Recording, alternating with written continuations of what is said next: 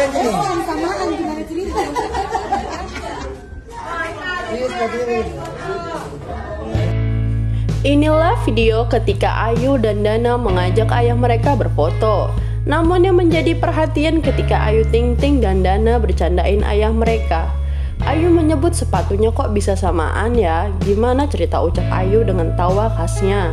Begitu pula dengan Dana, iya sama nih dengan suara khasnya. Sontak saja ayah rojak tertawa mendengar ledekan Ayu sambil menunjuknya. Banyak netizen berkomentar tentang suara Dana yang lembut, dan ada juga yang berkomentar bahwa ayah rojak dan ayah Darsi si paling couple tulis yang lain.